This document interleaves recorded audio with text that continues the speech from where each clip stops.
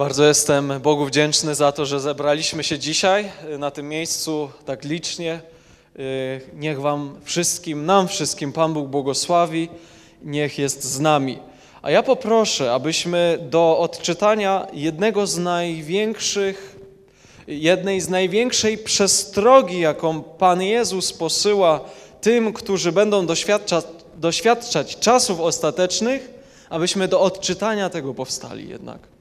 Powstańmy i y, wsłuchajmy się w to, co Pan y, mówi do Kościoła czasów ostatecznych. Gdyby wam wówczas ktoś powiedział, oto tu jest Chrystus, albo oto tam, nie wierzcie. Powstaną bowiem fałszywi Mesjasze i fałszywi prorocy. Będą oni czynić wielkie znaki i cuda, aby o ile można zwieść i wybranych. Pamiętajcie, że wam to przepowiedziałem. Gdyby wam więc powiedzieli, uwaga, jest na pustkowiu, nie wychodźcie. Uwaga, przebywa w kryjówce, nie wierzcie. Gdyż jak błyskawica przycina niebo ze wschodu aż na zachód, tak też będzie z przyjściem Syna Człowieczego. Panie, dziękujemy Ci za to, że Ty jesteś Bogiem, który jest, który działa, który był, przyjdzie znów. Panie, dziękujemy Ci, że dzisiaj także jesteś pośród nas.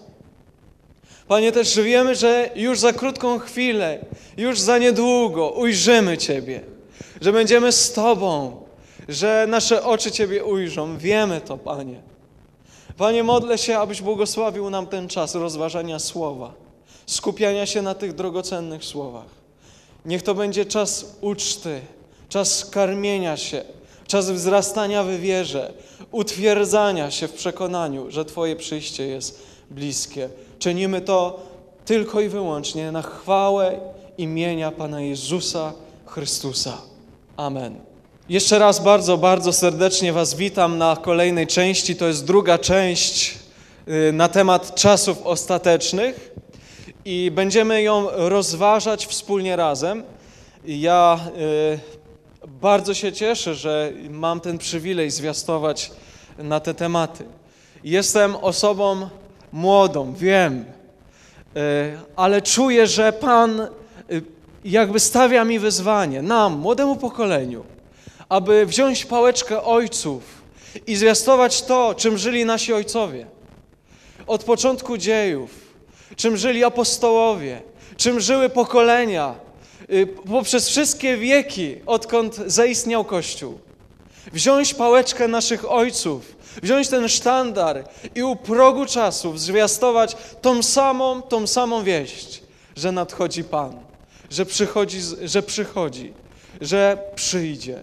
Nie chcemy być pokoleniem, które zamknie się na tą wspaniałą prawdę.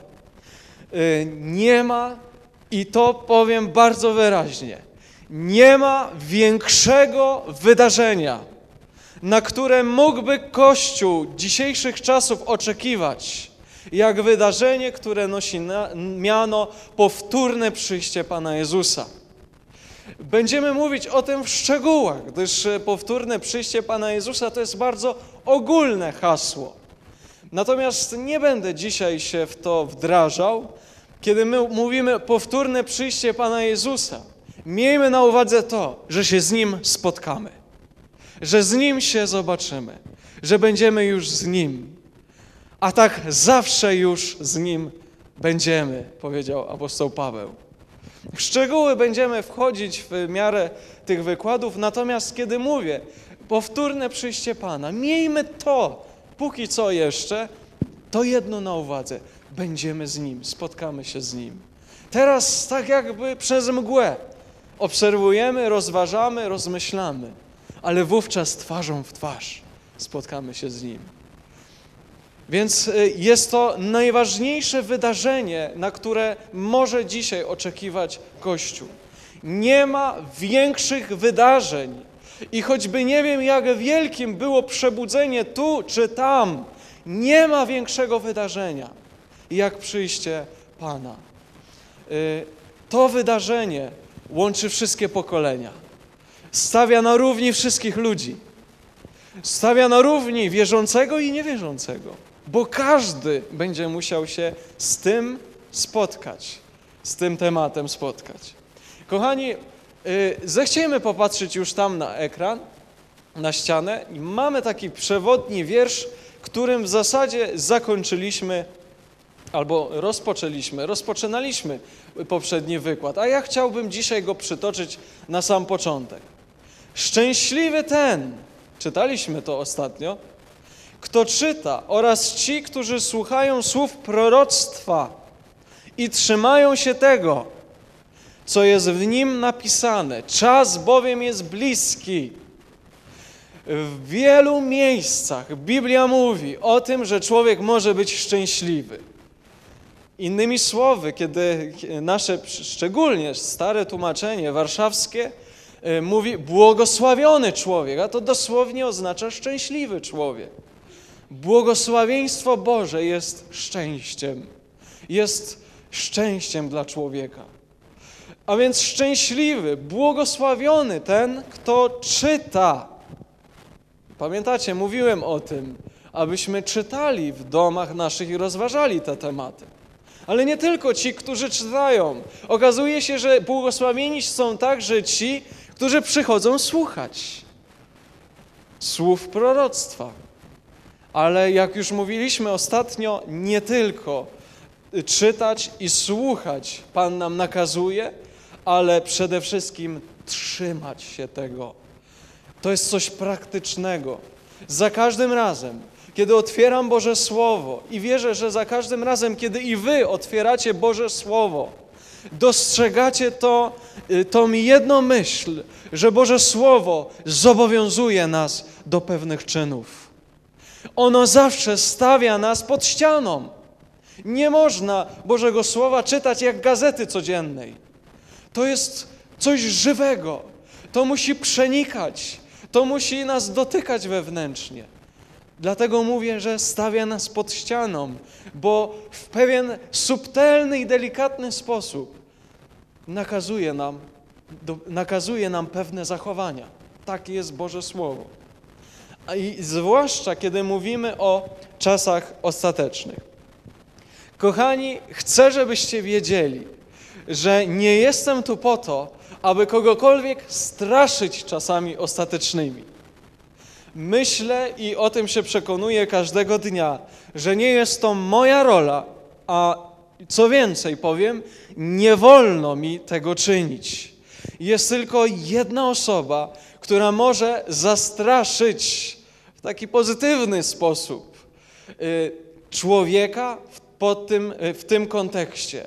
Jest to Duch Święty. I ja temu Duchowi Świętemu, mojemu Panu, oddaję to działanie. Ja nie chcę tego robić. On to potrafi dotknąć delikatnie serca człowieka i jeśli człowiek jest ewidentnie nieprzygotowany, zaniepokoić to serce, ale nie po to, aby go wystraszyć, ale po to, aby skłonić do zmiany, do opamiętania, jeśli trzeba. A więc nie jestem tu, aby straszyć. Powiem więcej. Ja jestem tutaj, aby stanąć na fundamencie słowa, które apostoł Paweł powiedział. Tymi słowy się straszcie, powiedział? Nie. Tymi słowy się pocieszajcie. Pocieszajcie się. Jakimi słowy? Że Pan nadchodzi, że Pan przychodzi. Nie ma większego szczęścia dla wierzącego człowieka jak fakt tego, że Pan przychodzi. Jestem tego pewien. I jestem jeszcze jednej rzeczy pewien, że w miarę upływu tych wykładów, e, poprzez praktycznie trzy miesiące, jestem tego pewien, że każde serce na tym miejscu, choć zmagać się będziemy z różnymi tematami, to jedno będzie odczuwać. Będzie coraz bardziej, coraz bardziej i bardziej pocieszane tą myślą, że Pan nadchodzi. A więc tymi słowy się pocieszajcie. Chcesz być szczęśliwy? Chcesz być szczęśliwy? To przychodź na wykłady wtorkowe. Bo szczęśliwy jest człowiek, kto czyta, słucha i się tego trzyma. Więc z tego miejsca Bardzo serdecznie zapraszam e, Was na te wykłady i zapraszam Was także na ten wykład i już będę chciał rozpocząć. Kochani, Bóg jest Bogiem porządku, ja się też tego uczę, więc każdy wykład podzieliłem w odpowiednim porządku, tak aby wszystko miało ręce i nogi, ponieważ wielu ludzi tak bardzo komplikuje te tematy, że ludzie nie wiedzą praktycznie nic o czasach ostatecznych i z tej niewiedzy to odrzucają. I ja uważam, że Biblia mówi bardzo jasno i nieraz bardzo prosto o tych rzeczach. I jeśli ktoś tu komplikuje sprawy, to niestety my to czynimy. Ale Pan Bóg wszystko w porządku y, umieścił w Biblii i będziemy chcieli to rozważać wspólnie razem. Ja też porządkuję ten wykład.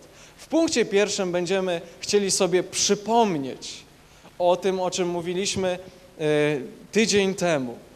Y, wiecie, to tak jak w życiu.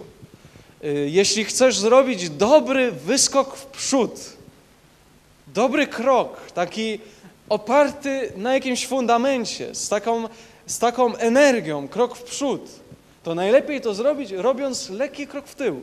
Wtedy jest łatwiej.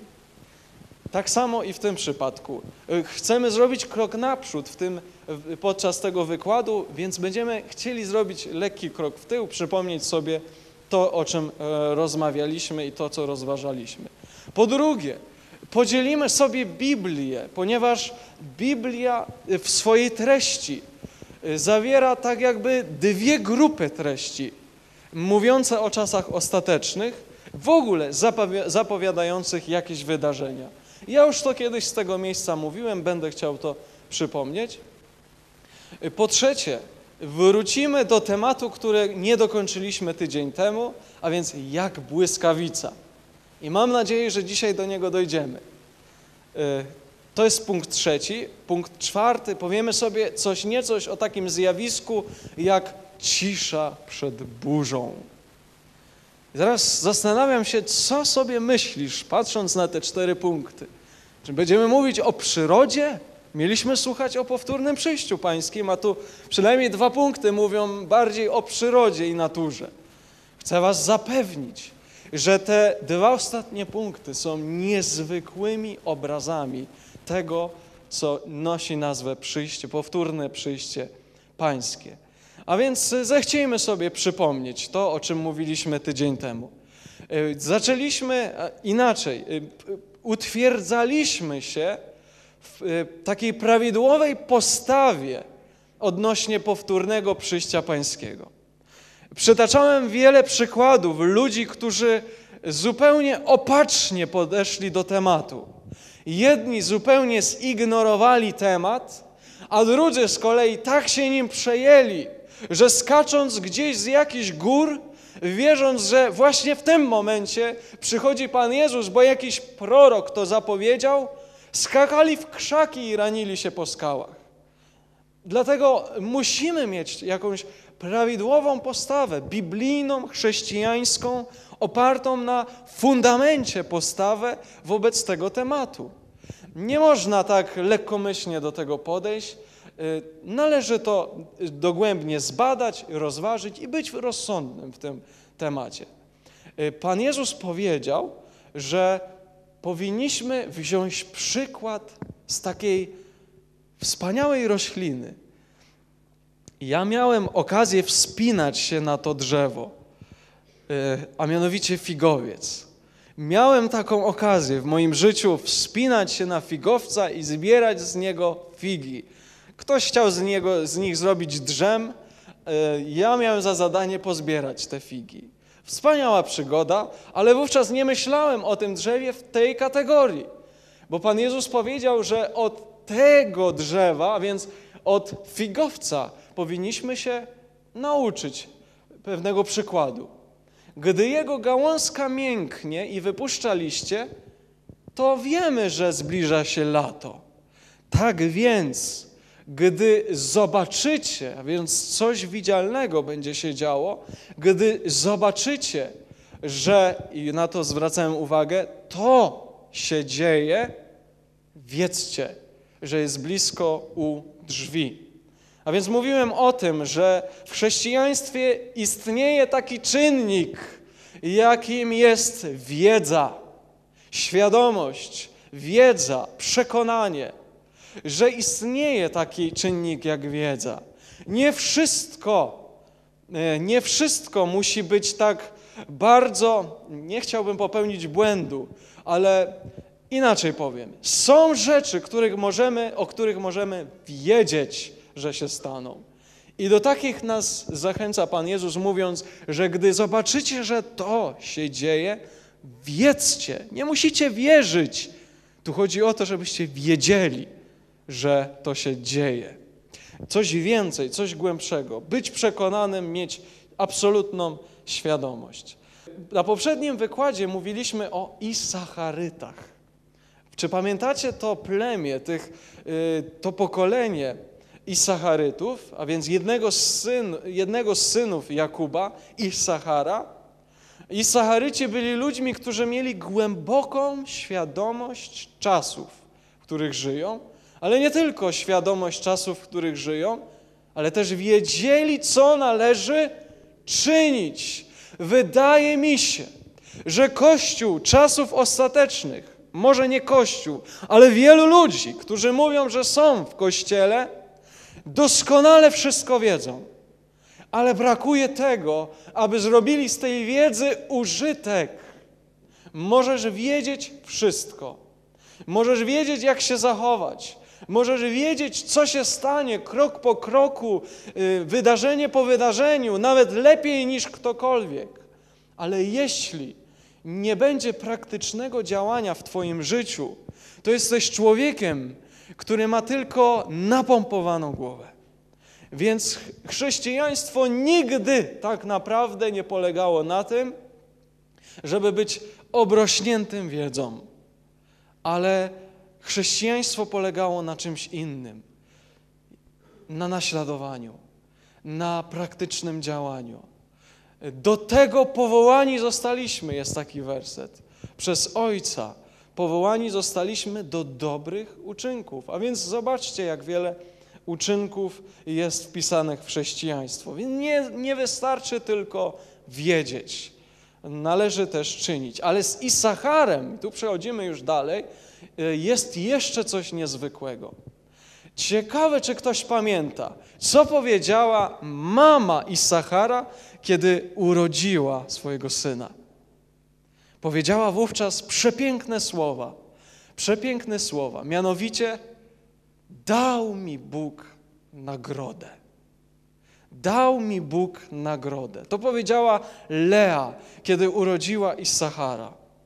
A kiedy powiedziała, dał mi Bóg nagrodę, wydaje mi się, że Isachar nie tylko w tamtym przypadku, który omawialiśmy tydzień temu, do, jakby był obrazem czasów ostatecznych, ale i w tym przypadku jakby jeszcze jest to podciągnięte dalej. Nawet jego imię świadczy o tym, co, czego niekoniecznie doświadczysz tu na ziemi. Dał mi Bóg nagrodę. Bracia i siostry, czy jesteśmy świadomi, gdzie jest nasza nagroda? Nasza nagroda nie jest na ziemi. A jeśli byśmy zechcieli tutaj szukać nagród, to Pan Jezus powiedział: Tam już nagrody nie dostaniemy, bo tutaj ją przyjęliśmy. Mówiąc o tych, przypomina mi się to, kiedy Pan Jezus mówił, y, o faryzeuszach, o uczonych w piśmie, że lubią się głośno modlić na pokaz, lubią chodzić w strojnych szatach, pierwsze miejsce zajmować i już odebrali swoją nagrodę. Nie mają nagrody u Ojca. A Pan Jezus jeszcze dodał: szukajcie tam nagrody, tam skarbów swoich szukajcie. I dlatego Isachar także i sam w sobie jest jakby obrazem Albo takim proroczym westchnieniem można by było e, nazwać to zdanie. Proroczym, ponieważ mówi o czasach ostatecznych, kiedy Bóg udzieli nagród, ale także i ukaże. A więc e, to dotyczy Isachara. Kochani, będę chciał podzielić Biblię ponieważ e, podzielić na takie dwie części. Mówiłem już o tym jakiś czas temu, to było w zeszłym roku, dawno, pewnie nie pamiętacie, zrobię to jeszcze raz. A więc Biblia składa się jakby z dwóch części. Y, składa się z dwóch części. Gdybym tak zadał pytanie, wiem, że wielu z Was powiedziałoby: Tak, ja wiem, z jakich dwóch części składa się Biblia: ze Starego Testamentu i z Nowego Testamentu. Ale nie o takim podziale chcę dzisiaj powiedzieć, ponieważ Biblia składa się także z innych dwóch części, y, które można zaobserwować, czytając ją po prostu. I przytoczę taki fragment Bożego Słowa, który, który otrzymałem od pewnego brata, i on obrazuje te dwie części. To jest Księga Izajasza, 42 rozdział, 9 wiersz. Oto nadeszło to, co zapowiadałem wcześniej, a teraz znów ja ogłaszam nowe. Zanim wykiełkuję, dam wam o tym słyszeć. Co mam na myśli, mówiąc, że ten fragment jakby dzieli Biblię na dwie części?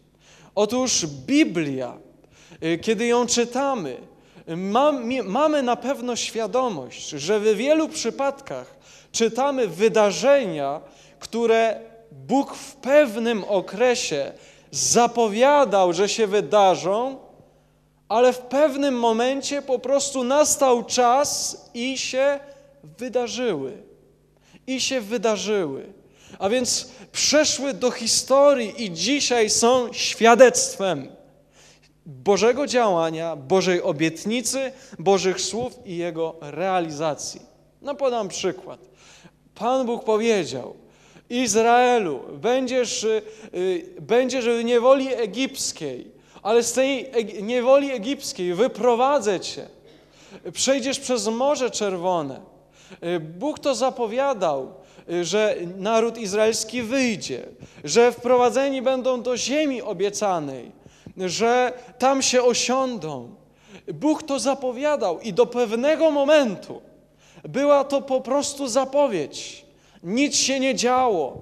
Y, lata mijały, a jak Bóg zapowiedział, tak to dalej było zapowiedzią. Ale w pewnym momencie nastał czas i to, co Bóg zapowiedział, wydarzyło się. Izraelici wyszli z Egiptu, przeszli przez Morze Czerwone i na znak tego, że Bóg to, co zapowiedział, stało się, wydarzyło się, postawili kamienie, jakieś słupy i do dzisiaj tam stoją jako świadectwo tego, że Bóg uczynił to, co obiecał. A więc to jest ta pierwsza część. I takich świadectw w Biblii mamy wiele. Ileż to proroków zwiastowało i zapowiadało, że nadejdzie Mesjasz, że urodzi się z dziewicy, że będzie czynił wielkie cuda, ślepym oczy otworzy, umarłych będzie wzbudzał, aż w końcu umrze na krzyżu, ale nie pozostanie w grobie, powstanie z martwych. Ileż osób na przestrzeni całej Biblii zapowiadało to. I czy ktoś w to wierzył, czy nie wierzył, pewnego dnia nadszedł czas, jak powiada Pan Jezus, nadszedł czas nawiedzenia. Nawiedzenia. Nadszedł czas, kiedy Królestwo Boże się przybliżyło e, i Pan Jezus się urodził. Od tamtej chwili kalendarz jest liczony. Pan Jezus się urodził. Y, czynił wielkie cuda, wielkie dzieła. Poszedł zgładzić grzech na krzyż. Zapłacił za wszystkie nasze winy, jak powiada pismo. Ale nie pozostał w grobie, kiedy umarł. Zmartwychwstał. I to jest świadectwo. To się wydarzyło. Ale także y, istnieje jeszcze druga część Biblii, która nie jest dzisiaj świadectwem, ale pozostaje zapowiedzią. I to są wszystkie te treści praktycznie, które omawiamy i będziemy omawiać. I niech mi wolno będzie zadać pytanie. Kiedy mamy obłok tak wielu świadków i świadectw, czy wolno nam nie wierzyć w to, że to, co Bóg zapowiedział, stanie się? Absolutnie nie. Dlatego Pan Jezus mówił: wiedzcie, wiedzcie. Mamy prawo nawet wiedzieć. Y, kochani, ta pierwsza część, o niej mówił Amos, mówiąc: Owszem, nie czyni wszechmocny Pan nic, jeśli wpierw nie objawi tego swego planu swoim sługom, prorokom. Bóg ma pewne zasady. I to, a tą zasadą, którą Bóg się posługuje, jest to, że postanawia się dzielić z nami swoim zamysłem i planem. Przypomina mi się pewne słowo, które Pan Jezus powiedział: Już nie nazywam Was sługami, ale przyjaciółmi. Nie nazywam Was sługami. Dlaczego? Bo sługa nie wie, co Pan czyni. Nieznane są słudze zamysły Pana. Ale nazywam Was przyjaciółmi. Dlaczego? Bo wszystko Wam powiedziałem. Wszystko Wam mówię. A więc jak blisko Pan Bóg chce nas być. Kiedy Pan Bóg przyszedł do Abrahama, czy pamiętacie, co Pan Bóg mówił? Czy mam zataić przed moim przyjacielem Abrahamem swój plan? Nie zataję, dlatego że jest moim przyjacielem. Dlatego Pan Bóg nie tyle się nazywa przyjacielem, dlatego że mamy tak dobry czas, jesteśmy razem, ale dlatego się nazywa naszym przyjacielem, dlatego że On nam mówi i chce do nas mówić i nam przekazuje, co chce czynić. Ale jest ta druga część i prorok Daniel mówi o niej właśnie. Ale ty, Danielu, bo to anioł do Daniela mówił, zamknij te słowa i zapieczętuj tę księgę aż do czasu końca. Wielu będzie zabieganych i wzrośnie poznanie. Wspaniale jest oddany ten fragment w, te, w tym nowym tłumaczeniu. Wielu będzie zabieganych w czasie ostatecznym. Ja pamiętam, jak mówiło się, że znakiem czasów ostatecznych jest to, że nie mamy czasu. Pamiętam to i wtedy sugerowano się fragmentem, że jest napisane, że gdyby Pan czasu nie skrócił. Problem w tym, że ten fragment, gdyby Pan czasu nie skrócił, dotyczy zupełnie czegoś innego. Pan Bóg nie jest zainteresowany skracaniem tego czasu, który tak niemiłosiernie leci naprzód y, i wisi tam na zegarze. Niestety Pan Bóg nie jest tym zainteresowany. Natomiast tutaj już mamy wskazówkę, że czasu będzie nam brakowało. W angielskim tłumaczeniu jest napisane: Wielu będzie gonić tu i tam. Gdy patrzę na dzisiejszy świat, wielu goni tu i tam i jeszcze siam. Tak wiele jest różnych pomysłów, zaangażowania, różnych działań, że wszystko na tym ubolewa, wszyscy na tym ubolewają. Tak jest dzisiaj świat. Wielu będzie zabieganych. Jeszcze inne tłumaczenie mówi, wielu będzie latać tu i tam. Ale kiedy patrzę w górę i widzę te samoloty, które przecinają tam, tam i jeszcze w innym kierunku, widzę, że znowu Boże Słowo mówi prawdę. Wielu będzie latać tam i tam i tam i wzrośnie poznanie. A więc to już tak bardzo szeroko rozważam ten fragment. Ale o czym Daniel mówi? Daniel mówi przede wszystkim, a raczej słyszy, że to, co on pisze z inspiracji Bożej, będzie zamknięte, zakryte, niepoznane do jakiegoś czasu. I tak w istocie było, że tak jak jest tu napisane, przez wiele lat ta księga była niezrozumiała, nie dlatego, że ludzie mieli małą mądrość albo jej nie mieli, ale dlatego, że Bóg powiedział, że będzie zamknięta. Ale powiedział coś innego. W czasach końca będzie otwarta i wszyscy będą mogli ją zgłębiać, rozważać i będzie poznana. I to i tego doświadczamy, więc jest to jeden z fragmentów, który nam udowadnia, że skoro czytamy Księgę Daniela i ją rozumiemy, to znaczy, że żyjemy w czasach końca, ostatecznych.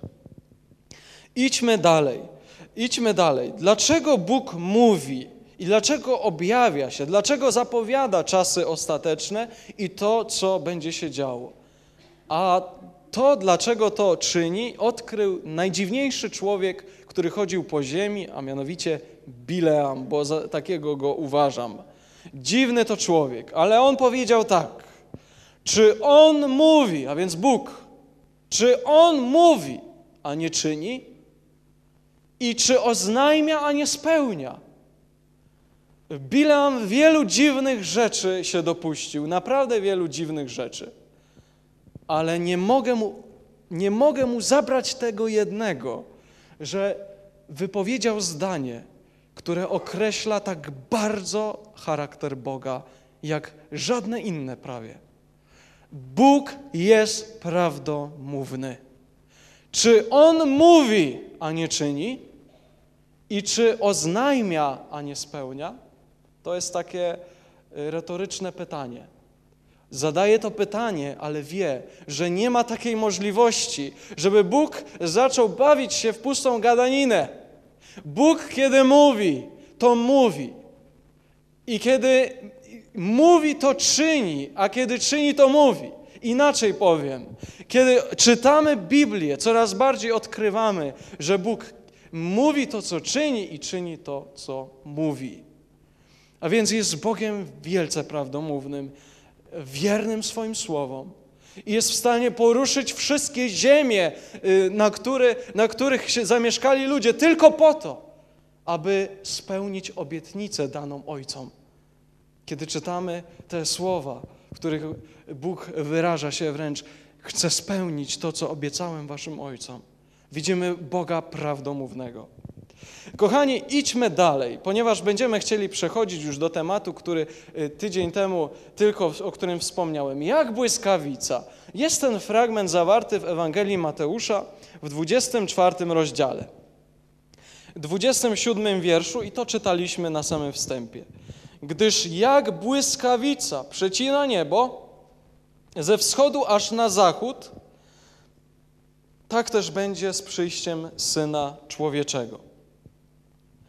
Y, kochani, jest to jeden z najbardziej klasycznych fragmentów i najbardziej używanych fragmentów, aby mówić o powtórnym przyjściu pańskim.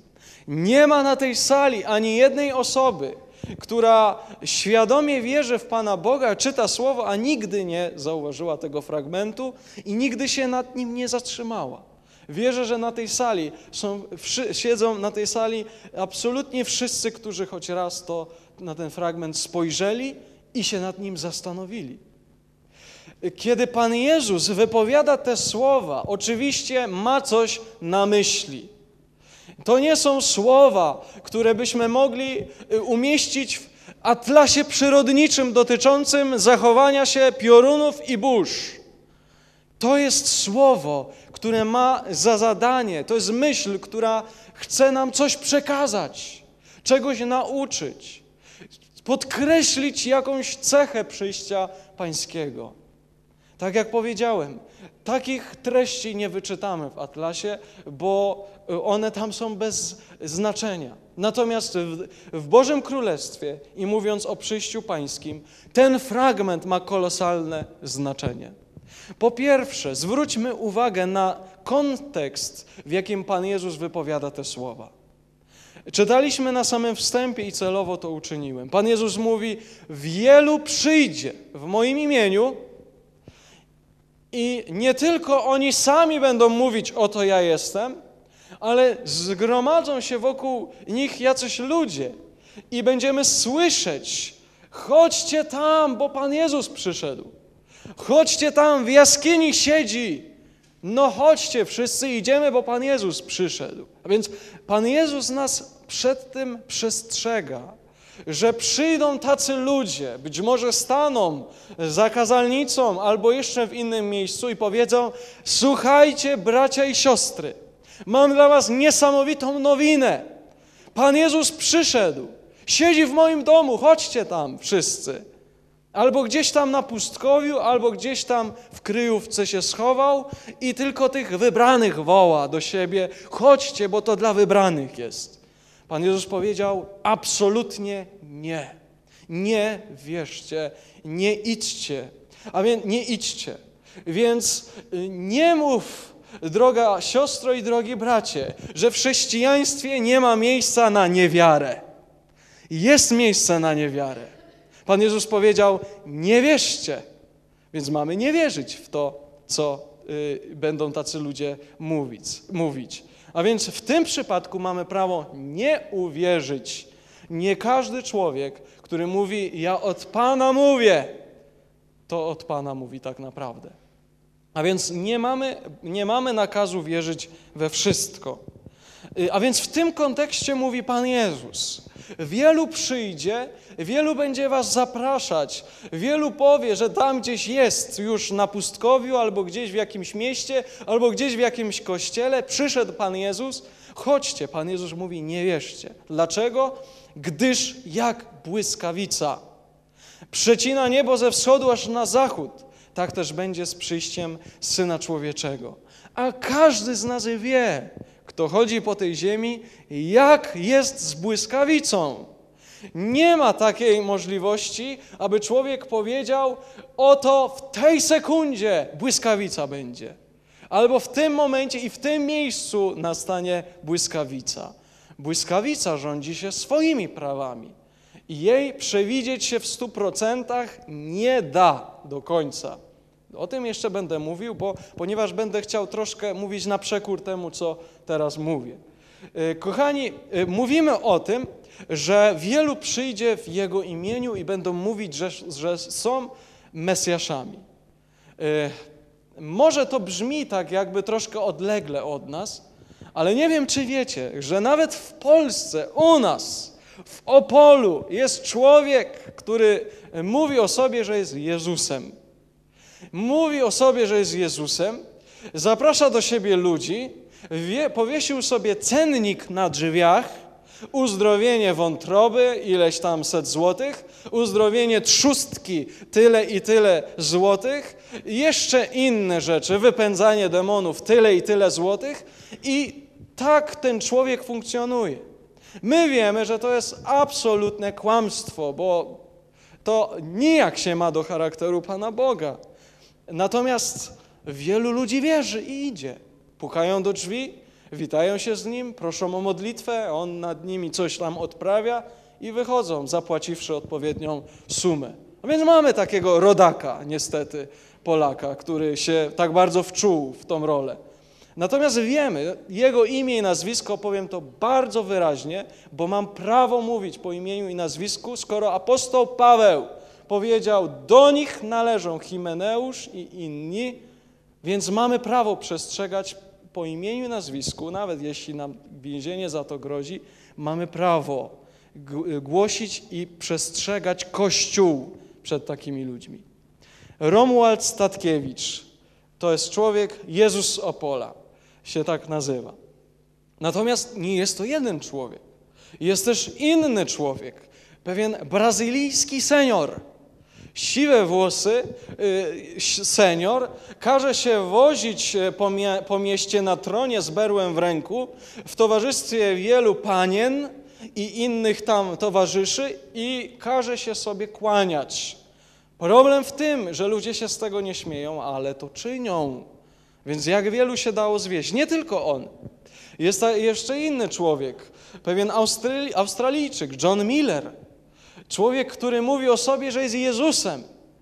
Y, to nic, że to jest były, y, były świadek y, Jehowy, a więc uczęszczał do innego kościoła, do tego kościoła. Później nagle w którymś momencie zrozumiał, że jest Jezusem.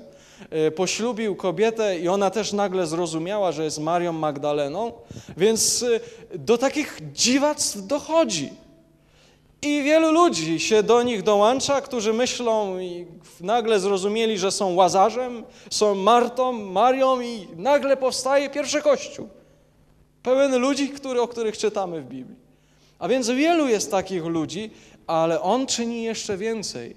Używa bardzo, bardzo, yy, bardzo, bardzo niesmacznych, niesmacznych albo nieczystych praktyk.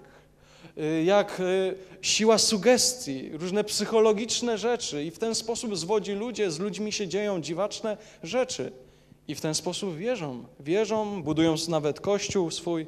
No ale to nie jest jeden. Jest też człowiek imieniem Brian Marshall, który twierdzi, że jest Jezusem, gdyż jak twierdzi, wygląda dokładnie z twarzy tak samo, jak ten na całunie turyńskim, a więc na tym płótnie, który, który, który wie, jak się wierzy, jest odbiciem tych, tych, e, tych, tego płótna, e, pod e, którym przykryto Pana Jezusa. A więc ten człowiek patrzył się i stwierdził, zaraz, ja wyglądam tak samo, chyba jestem Jezusem. A więc ten człowiek stwierdził w ten sposób, no problem w tym, że wielu ludzi w to wierzy. Jest jeszcze jeden człowiek, już nie wiem jak ma na imię i na nazwisko, natomiast w Rosji nawet miasto zbudowali w tym celu. Ten człowiek majestatycznie schodzi po schodach ze swojej świątyni, przychodzi do ludzi, którzy gromadnie się tam zbierają, kłaniają się przed nim, on wygłasza jakieś kazanie i wraca z powrotem. I tak przychodzi co jakiś czas i mówi o sobie: Jestem Jezus, ja przyszedłem. A więc jak wielu jest takich ludzi, tak jak mówię, może tutaj w Polsce nam to nie grozi, ale na obliczu całej ziemi dzieją się te wydarzenia, które Pan Jezus zapowiedział. A więc nie będzie takiej okazji, szczególnie mówię y, o tym, ponieważ jesteśmy pokoleniem, my młodzi szczególnie, które wiele rzeczy widzi na YouTubie albo gdzieś w internecie. Wiele rzeczy tam dostrzegamy, widzimy. Często to są bardzo przerobione rzeczy, które mają na celu tylko pewne rzeczy oczywiście, no nawet nie wiem jak to powiedzieć, sprefabrykować i tylko nadać takiego charakteru duchowego, ale to są kłamliwe rzeczy. Natomiast my na wiele, wiele, wiele rzeczy oglądamy. I wśród nich są i takie, w których przedstawiani są jacyś Jezusi, którzy przychodzą i którzy mówią o sobie, że są tymi Mesjaszami, którzy mieli przyjść. A ja powiem tak, nie znajdziesz przychodzącego Pana zastępów Jezusa Chrystusa nigdzie na YouTubie, nigdzie w internecie. Gdyż jak błyskawica przecina niebo ze wschodu aż na zachód, tak też będzie z przyjściem Syna Człowieczego. Tak będzie z przyjściem Syna Człowieczego. Y, ale powiedziałem już, że y, ponieważ Pan Jezus ten fragment odnosi do tego, że nie będzie jakichś wymarszy i pochodów, E, billboardów i plakatów o tym, że On przyszedł, stanie się to nagle, zupełnie nagle. Natomiast jedna rzecz jest bardzo ciekawa, jeśli chodzi o błyskawice. I to powiem już tak z doświadczenia z przyrody. Błyskawica nie strzela z jasnego nieba, chociaż się mówi o tym, jak, chociaż istnieje powiedzenie jak grom z jasnego nieba. Ale błyskawica nie strzeli z błękitnego nieba.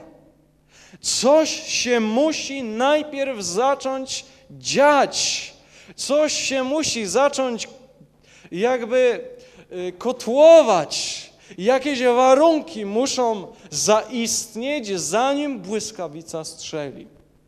Ktoś mi kiedyś zwrócił uwagę i mówi: Wiesz co, y, dzieje się tak, że wydaje się, że z błękitnego nieba piorun strzela, to się dzieje w górach. Często jak chmury są gdzieś za górami, a my po tej stronie mamy błękit niebieski, niebieskie niebo, błękitne niebo i nagle piorun strzela i co się dzieje? Okazuje się, że za, że za górami są te chmury. A więc chcę na coś zwrócić uwagę, że zanim nastąpi błysk, musi nastąpić coś innego.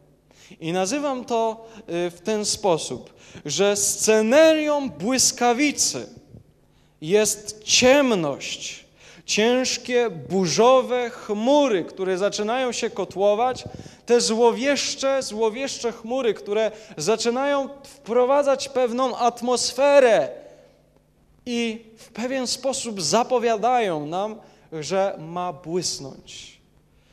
I tak wydaje mi się, że scenerią powtórnego przyjścia Pana Jezusa nie będzie wszechobecne globalne przebudzenie duchowe, ale wręcz przeciwna atmosfera.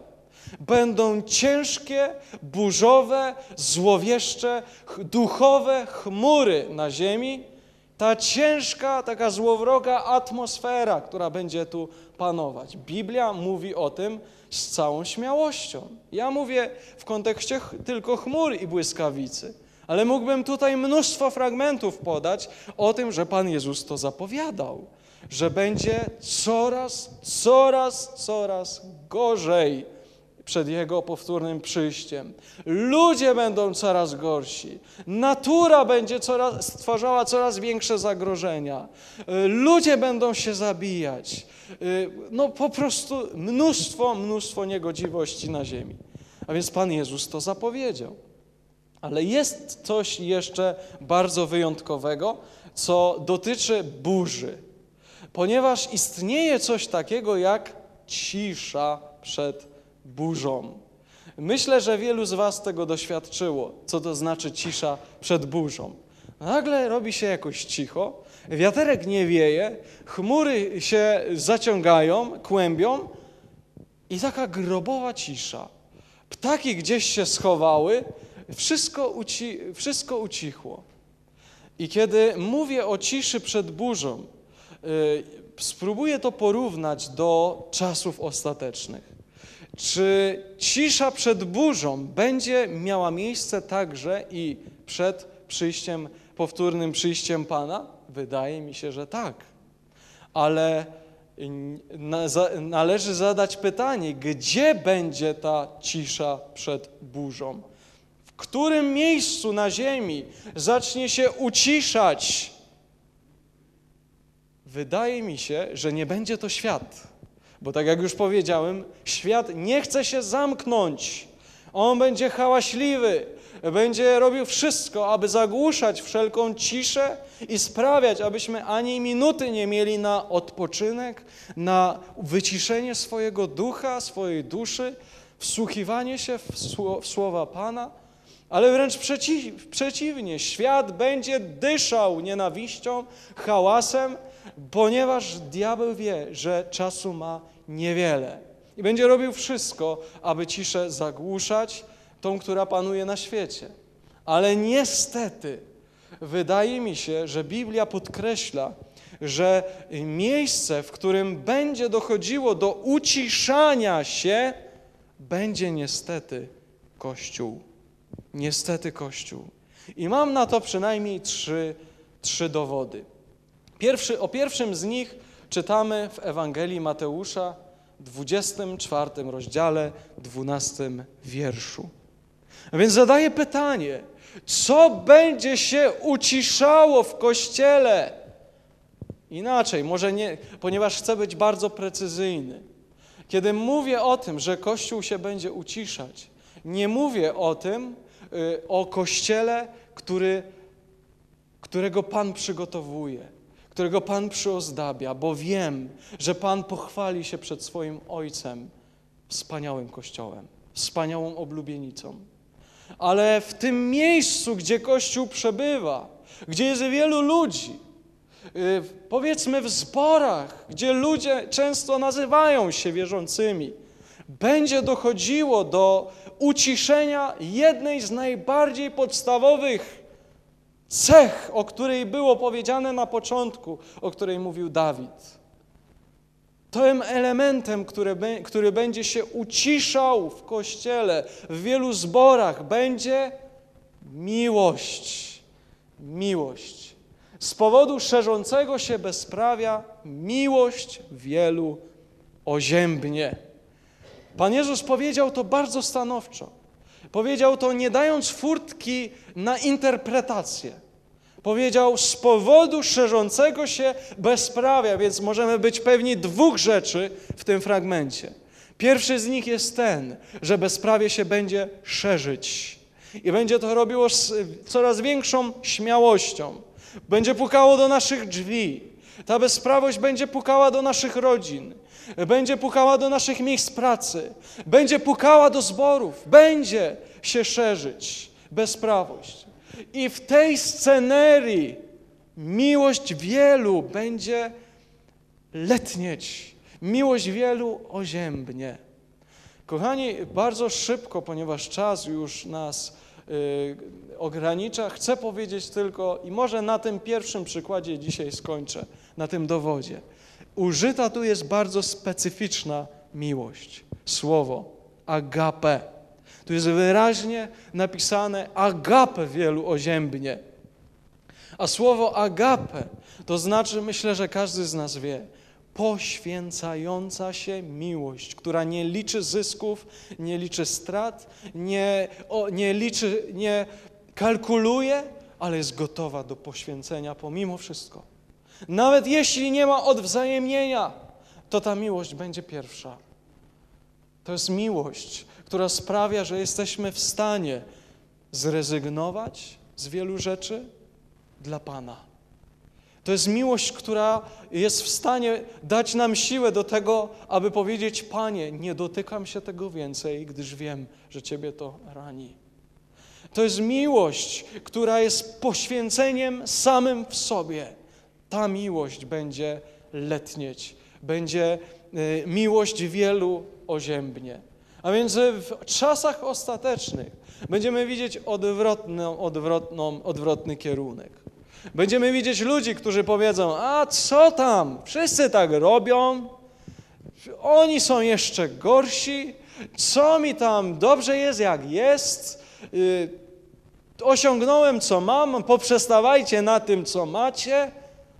Ale Boże Słowo mówi inaczej. Niech miłość was się pomnaża, obfituje, a nie jest stała i nie jest Y, jakby nienaruszalna. Ona powinna ciągle i ciągle wzrastać, ciągle się wyprzedzać, ciągle ustawiać poprzeczki, przez które ciągle przeskakujemy.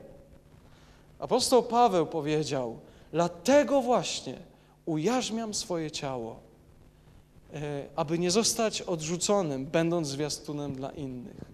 Apostoł Paweł był świadomy tego i to miłość do Jezusa podpowiadała mu to, aby walczyć ze swoim ciałem, y, ujarzmiać go.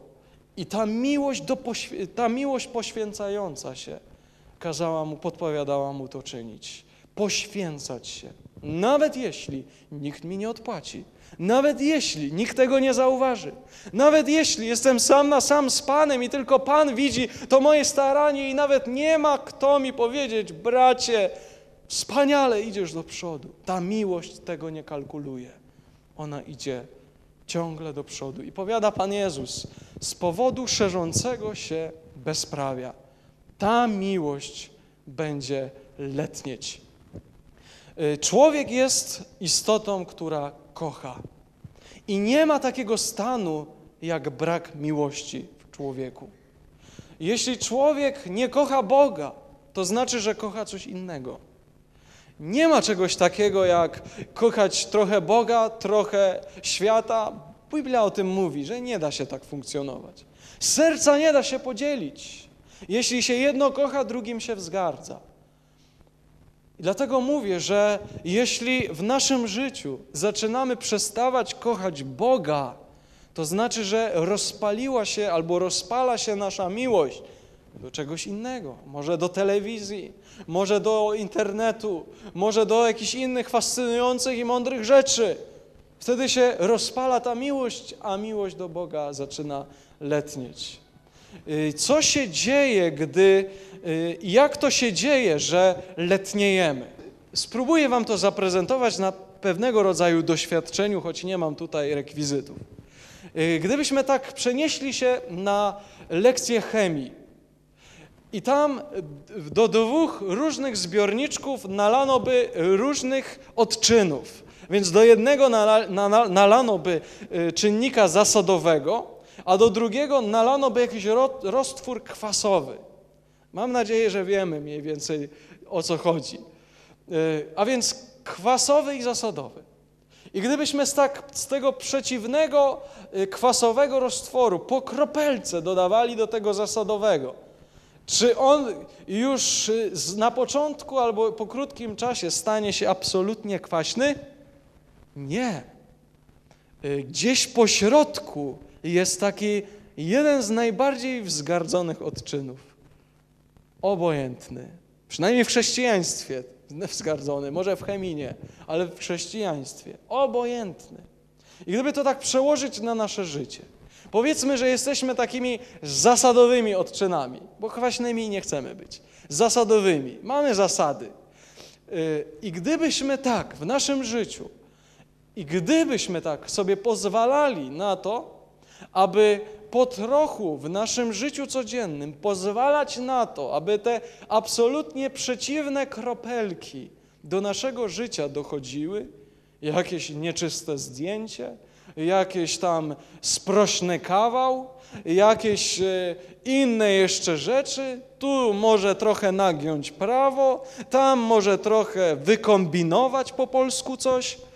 A więc te przeciwne, przeciwne odczyny po krótkim czasie nie będziesz zaraz kwaśny, ale będziesz obojętny. Już ci wszystko jedno, już nieważne, co kto mówi, już tak nieważne przychodzić na nabożeństwa, a tam sobie mogę odpuścić, a tam sobie tamto mogę odpuścić, nieważne, co jest zgłoszone, ja wiem swoje i tak dalej, i tak dalej. Po krótkim czasie się okaże, że następuje w nas transformacja z ludzi, którzy byli pełni ognia, pełni zapału, pełni gotowości do poświęcenia, pełni takiego poświęcenia, że ludzie się dziwili i błogosławili za to Boga. Ten ma wiarę, ten się poświęca. A dzisiaj wszystko nam jedno. A, nieważne, nieważne i nieważne. A więc, kochani, jak ważne jest to, abyśmy uważali, jak żyjemy, gdyż przyjście Pańskie jest blisko. Wkrótce przyjdzie Pan, a my chcemy być gorący na spotkanie z Panem, cieszyć się i pobudzać się tą nadzieją.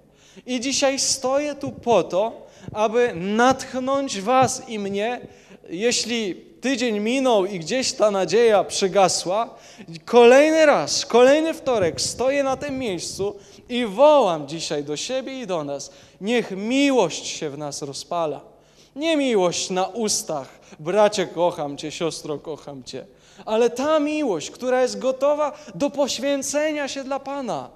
Jeśli Pan coś mówi, nie kalkulujmy, nie obliczajmy strat, ale spróbujmy po prostu Mu zaufać i powiedzieć: Panie, ja chcę za tym iść. Panie, jeśli wskazujesz mi na to, wiem, że mam to odrzucić, jestem gotowy, bo Cię kocham. A powiada Pan Jezus, to jest ostatnia myśl, ostatni fragment. Kto mnie miłuje, ten słów moich, przykazań moich przestrzega.